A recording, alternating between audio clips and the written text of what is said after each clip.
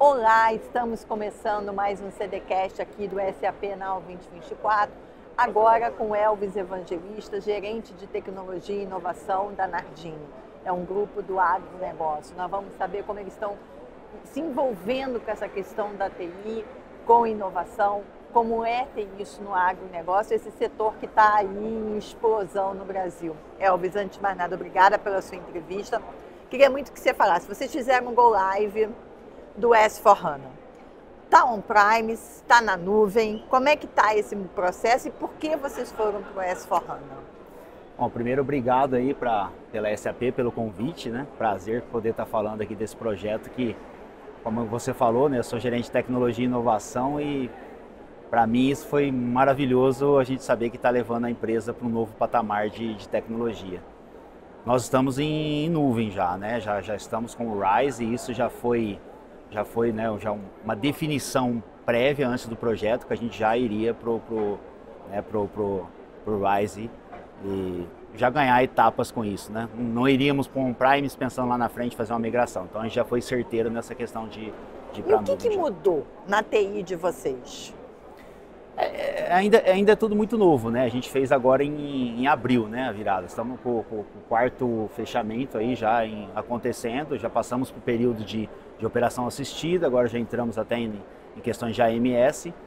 O que muda é que, assim, a, é, a gente vê muita muita possibilidade de governança, né? A gente tinha muito ainda o time da TI, muito trabalhando ainda em questões de meio ligadas à operação, e agora a gente se vê numa questão mais estratégica. A gente consegue poder acompanhar né, o pessoal da nossa gestão, né, nosso CEO, que estou até aqui falando em nome dele, da, do CEO e do nosso CFO. Então a gente consegue levar para eles mais valor, né, do que só ficar nas questões operacionais, que infelizmente é o que a gente tinha com, com o legado que a gente acabou trocando. Quando a gente fala do agronegócio, o agronegócio está evoluindo muito e cada vez mais o agronegócio requer tecnologia. Como é que vocês fazem com esse uso de tecnologia? Legal, boa, boa, boa, boa pergunta. É, até a, a, o, né, o, surgimento da, da, da necessidade da implantação do SAP, ele, ele apareceu dentro de um programa que nós temos dentro da Nardini que se chama Inova Nardini. Eu estou até com a camiseta aqui, essa é a camiseta do projeto. Nardini 5.0 por quê? 5.0, porque a Nardini está completando 50 anos quando a gente foi fazer o projeto, já está para indo para o 51. E a gente tem como lema essa questão de transformação de pessoas, processos e tecnologias. Então a gente já vinha nesse estudo de inovação, sabendo que é um negócio de 50 anos e a gente quis olhar para os próximos 50 anos, que é o que a gente falou. Nessa aparição, nesses estudos, a gente viu que para a gente alcançar o que a gente está pretendendo, né? a empresa está mudando muito a governança, trocou conselho, a gente abriu uma nova unidade, a empresa em franco crescimento. Então a gente não poderia ficar no patamar que a gente estava em termos de tecnologia. A tecnologia tinha que ser protagonista. Exatamente. E como é que você faz tecnologia e inovação protagonista de um negócio no agronegócio? Precisávamos de uns três podcasts para a gente falar sobre isso. Mas o que é legal, assim, dentro do agro, eu estava até conversando com o pessoal, é, é, é muito bom porque nós, principalmente as usinas, a gente se conversa muito. Nós temos grupos de, de gerentes de TI, de gestão de TI. Inclusive, fiz vários benchmarks para a gente poder fazer o, né, esse, esse projeto e ter sucesso, porque a gente falou com muitas, muitas empresas parceiras. Então a gente se une muito, a gente discute, a gente olha para questões de IA, né, que, que está vindo muito forte aí, várias questões de tecnologia só que a gente olhou o seguinte, não adianta nada eu começar a olhar para o prédio sendo sabendo que o meu alicerce é fraco. Então, o que, que a gente quis fazer? Vamos primeiro ter uma base sólida, vamos colocar um sistema que nos atenda e que nos dê a condição da gente evoluir, da gente né, avançar com muita, com muita força, porque a gente sabe que uma empresa como a SAP, né, tá o projeto, tá o, o, o evento aqui, está é, tá, sempre evoluindo nessa questão. Então, é, é, isso que a gente pensou. Primeiro acertamos a casinha aqui, colocamos um grande sistema para não, né, para gerar base de dados, porque quando a gente fala em inteligência artificial, a gente precisa ter muito dados consolidados, para que depois a gente possa evoluir em vários outros quesitos, que é o que a gente está vendo aqui. E o que, que vocês estão fazendo de inteligência artificial generativa e de IA? Eu vi o pessoal falando ali, a gente está com, com os famosos baby steps ainda. Ainda é muito balão de ensaio, como eu te falei, a gente começou agora, né? Abril, estamos com quatro meses ainda. Ainda estamos. O que eu posso falar que a gente está fazendo de IA é preparando uma base sólida de informações para que a gente possa atuar ali. Estamos conversando com as áreas, entendendo um pouquinho onde é que a gente pode chegar. A vinda nesse projeto, nesse evento, já é pensando em novas ondas lá, então muito do que a gente já ouviu aqui, várias palestras super interessantes e a gente já viu um pouquinho onde é que o pessoal está indo. Então, nada, nada se, se inventa, tudo se dá uma copiada, então a gente já pegou algumas ideias aqui, a gente leva para dentro da empresa, discute com o pessoal e em breve a gente vai atacar coisas que a gente entenda realmente que tenha valor. Não vamos seguir só na modinha, a gente tem que olhar como a gente sempre fez lá. Como, como, como, como, como pode trazer valor. Dentro desse momento, como é que foi fazer a migração do seu, do seu sistema que não atendia mais para o Como é, qual foi a maior dor que você sentiu nesse processo? E de abril para cá, qual foi o seu ganho? Tá. Bom, vamos por etapa. Então, assim, a gente até fala que a gente implantou o, o, o, né, o projeto foi em nove meses. Então, nossa, nove foi meses. Um parto. Exatamente. O meu, meu, meu CEO falou isso quando nasceu, quando teve o Go Live, quando nasceu a, a criancinha. Eu falei, mas a criancinha ainda vai chorar um pouquinho. Então, então assim, ah, foram nove meses, mas o projeto mesmo a gente começou há dois anos atrás. Né? Há dois anos antes do, do, do, dos nove meses aí. Estudando né, qual seria a tecnologia, que a gente já sabia que seria o SAP, mas estudando quem seriam os parceiros, que a gente foi muito bem. É, como eu posso falar?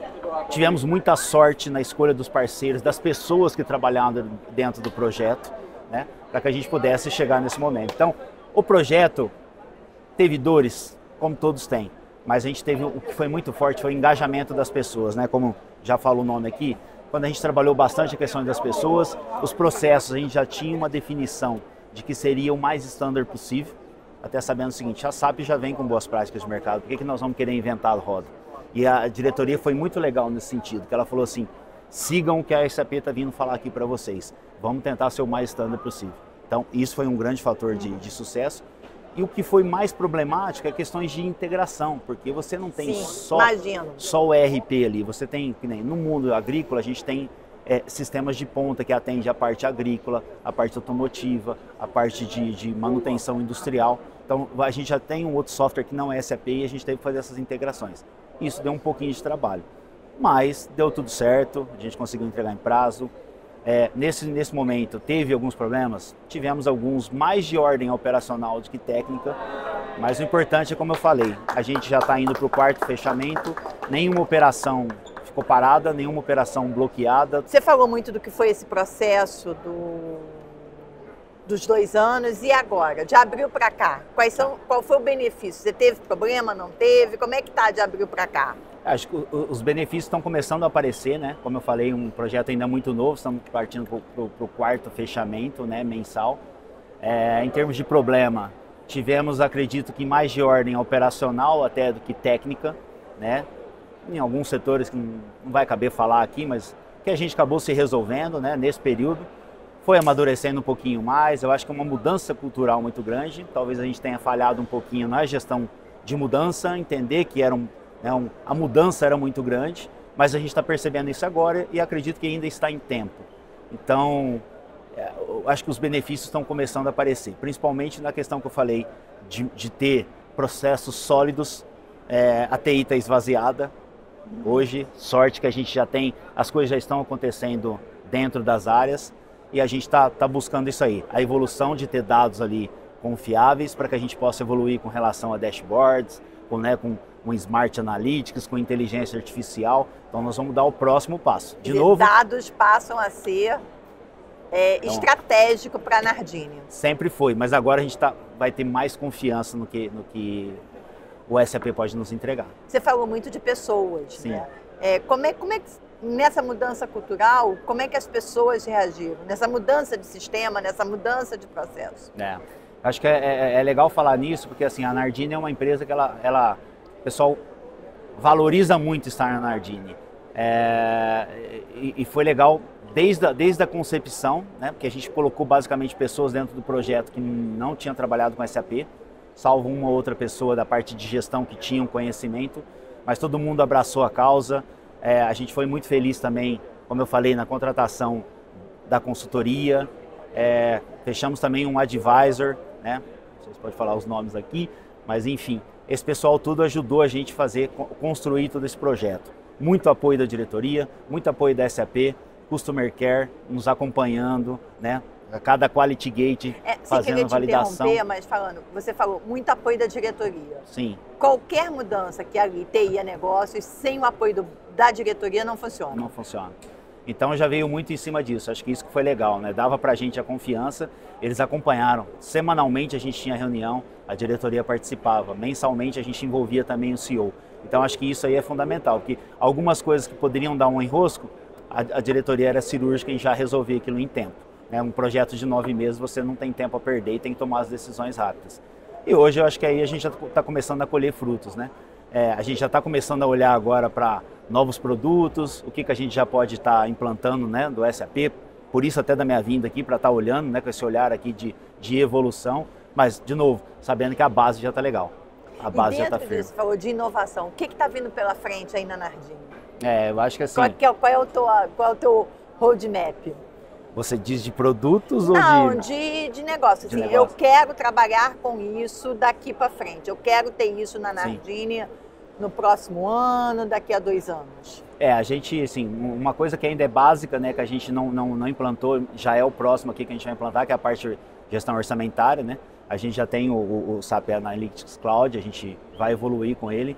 Mas eu acho que, assim, tá fundamental para a gente é a montagem de um, de um data lake, até porque, assim, de novo, né, o SAP já está com essas informações muito bem tratadas. A gente tem outros grandes sistemas que a gente também precisa se unir, fazer um, um bom data Big Data, um Data Lake bem, bem né, garantido para que a gente possa trabalhar em análise de dados. Eu fiz uma pós em, em, ciência de dados, então eu sei quanto que isso é importante. A gente trabalhar nessas questões, trabalhar com IA, né, que vem muito forte aí e que a gente sabe que não é modinha. Então, assim, em grandes linhas, é isso que a gente quer olhar bastante. E esse data, data lake, lake seria de vocês ou vocês fariam um data center de terceiros? Nós, vamos, não, nós, nós queremos usar, é, de repente, até o hyperscales que a gente já tem hoje com, a, com a, até com, com, o HANA aí, né? Tá, então você quer ter isso, mas vocês teriam a gerência para vocês terem esses isso. dados consolidados, centralizados, para vocês terem acesso à informação mais rápido. Exatamente. E reforma tributária? Isso está tirando o sono de vocês já? Então, é, é, eu acho que assim, um, um, dos fatores também que, que fez, é, que ajudou bastante a, a implantação Eu falo muito de tirar o sono no sentido certo. que é um modelo, vai ter mudança, Sim. o sistema de TI vai mudar. Sim. O sistema de gestão vai mudar Sim. por conta da reforma tributária, tá? Certo. Mas eu, eu posso falar assim, não é que não tirou o sono, eu acho que o foco nosso era outro. Né? O foco nosso era sair de um sistema que esse ia, ia trazer pesadelo para a gente, né? deixar redondinho o SAP agora, para que agora eu, peço, eu possa pensar com tranquilidade no que vem por aí. Mas a gente sabe que hoje o SAP nos dá essa condição da gente poder ter uma tranquilidade em, em saber de tudo que vem por aí, de governo, dessas mudanças e tudo mais. O esquema anterior ia trazer bastante problema para a gente. Então, é isso que eu, que eu posso falar. A gente está olhando muito para isso aí. Eu acredito que ainda não, até porque tem muita coisa ainda para ser definida. Mas a gente tem essa tranquilidade de saber que vem o que vier e a gente vai estar tá preparado. Não tem como falar de agronegócio sem perguntar como é que vocês trabalham com relação à conectividade. Como é que é essa carência de conectividade no agronegócio? Conectividade, aliás, foi um grande problema para a gente poder pensar nisso, né? Como é que você leva um, um produto que vai ficar 100% em nuvem pensando em conectividade no agro? Mas é, essas questões evoluíram bastante, né? Acho que um tempo atrás era, era bastante problema. Nós ainda não temos né, o 5G lá no campo, tão sonhado. A gente sabe que é uma questão de tempo para chegar, mas a gente é bem servido. É, no caso da Nardini, a gente tem empresas locais, mas temos também operadoras fortes aí. A gente sempre cria um esquema de redundância, né?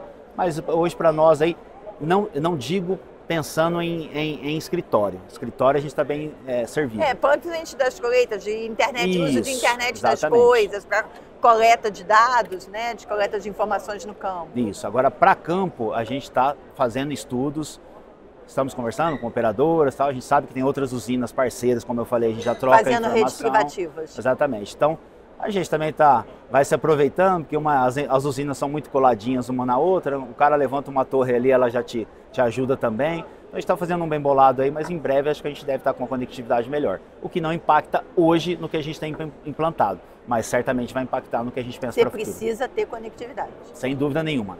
Foi até legal que você falou, quando eu te, fiz uma apresentação esses dias, eu coloquei um desenho de um iceberg. Eu coloquei a pontinha do iceberg lá, o IA.